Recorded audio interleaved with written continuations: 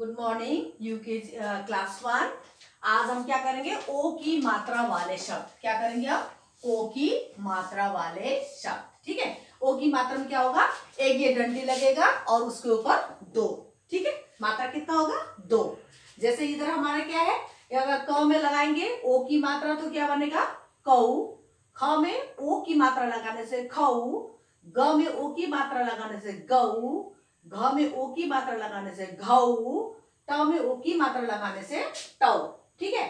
तो ऐसा ही जितने भी हमारे व्यंजन है क ख ग है, उन सब में अगर ओ की मात्रा लगाओगे तो उसका जो है आवाज़ चेंज हो जाएगा। जैसे ट में ओ की मात्रा टऊ ठ में ओ की मात्रा ठऊ ड में ओ की मात्रा डऊ तो सब में आपका किसका आवाज़ आएगा? औ की, ठीक है? औ। तो वैसे ही जो है, ये हमें किसका चित्र बनना है औरत। तो ये आपका क्या बनेगा औरत औरत, ठीक है? अब ये किसका है? चित्र किसका है? कौआ तो कौ आ कौआ कौआ मीन्स क्रो उसके बाद आपका पौधा पौधा। छोटा सा पौधा था प्लांट उसको बोलते हैं, पौधा। अब ये चौकी चौकी। चौकी मतलब टेबल को क्या बोलते हैं? हिंदी में चौकी बोला जाता है। ठीक है? समझ में आ रहा है? तो वैसे ही आपने जो है करना है पेज नंबर इसमें जैसा औ की मात्रा वाले शब्द, ये है आपका मात्रा।